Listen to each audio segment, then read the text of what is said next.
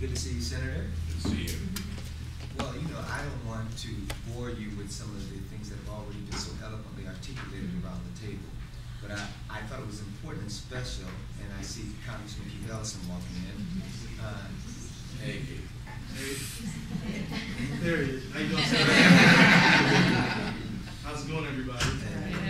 Sorry I'm running so late. I, uh, forgive me for actually gotta run, go catch an airplane. And, uh, but Senator Franken, thank you for convening this very important meeting. Uh, the issue of healthcare disparities is essential to how we move forward on healthcare. And, uh, it's, a- it's in the bill, you know, and so it's, it's in there. And I think that all the people around this table who've been advocating over the years, uh, you'd be, I think you'd be happy to see what's in there or to, to address healthcare disparities. But the real fight is to keep it in there. So there's no doubt that, uh, the, the energy that you all have, uh, brought to the debate so far is gonna have to be sustained until we get the president signing on the dotted line. Um, and, uh, you know, in terms of numbers and statistics, you guys are experts on all that. But I, I will say that, um, it, it, it, one of the big challenges that we're facing is that, uh, and Al is the expert on the Senate, but, uh, is that, you know, I don't know if we're gonna end up in reconciliation or if we're gonna get sixty, but if we do sixty, then we can keep it in. If we don't, then we might have some people challenging this health, this disparity stuff as extraneous, which, uh, could be, mean that it could be snatched out. That's why we gotta get to six. That's why we gotta get to sixty. So, so with that, I'm gonna just, uh, go catch my plane. I'm gonna thank you all for the great work you're doing. And can I, if I may just say so, you know, campaigns are full of hyperbole, right? But I, I, will say in this post-campaign period, now that we're not talking about senatorial candidate, uh, Franken, but Senator Ken, uh, Franken, that I am just flat out overjoyed to have, have him in the Senate. So far, he and I have paired up on, on child nutrition. Uh, he has introduced, uh, he's been a part of an effort to push the medical loss ratio issue, to make sure that if we're gonna mandate that forty-nine million new Americans get health care, that these companies can't just be claiming thirty percent overhead as they have been in the past. They're gonna have to shrink that down, uh, to at least, uh, uh, eighty-five percent. I think they can get to ninety, you know. Um, and so, And you gotta keep that in, in the House bill because, um, I'm pushing that on the Senate side, and Mhm. Senator Rockefeller pushed it, uh, in the Finance Committee, it didn't get, we, he knew we weren't gonna win in the Finance Committee. Right, right, right. But, uh, I wanted, uh, you guys, we gotta keep it in. you gotta keep it in there because I, I think we'll get more, more than fifteen and a half, no. Uh, in, in the amendment on the floor, and if you guys keep it in. Yeah. it- It'll, and, and keep it in, uh, uh, in the conference. Sure. And what that is, what that issue is, is that in Minnesota, ninety-one cents out of every dollar that goes to health insurance goes to health care. And in the rest of the country, it can be as low as seventy Yeah. cents.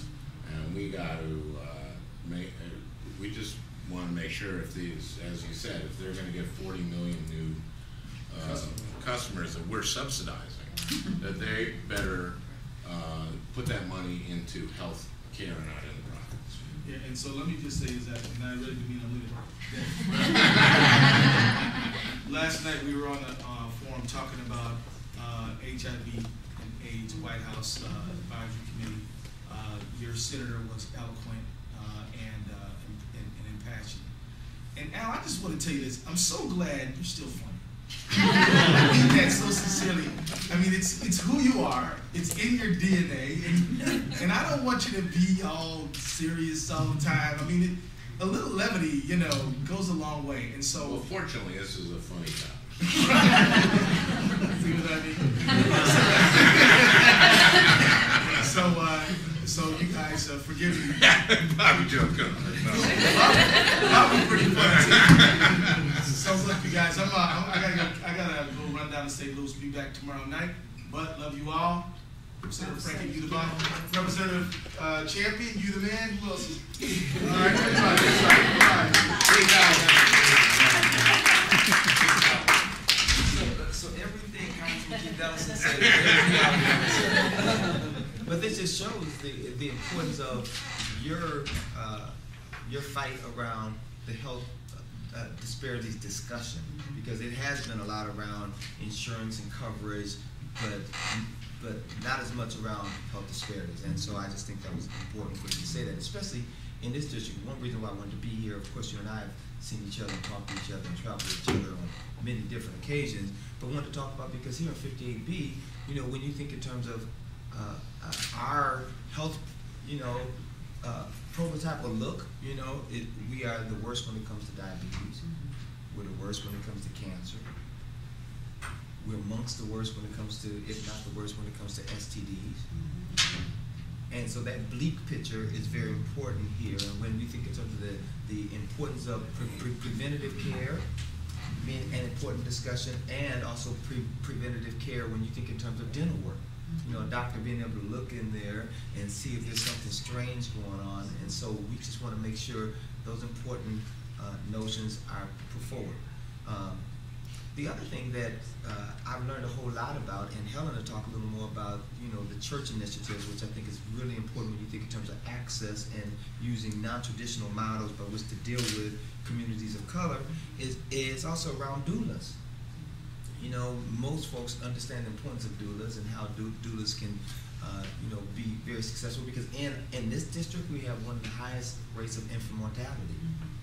Uh, unfortunately, only some healthcare providers will provide services for doulas.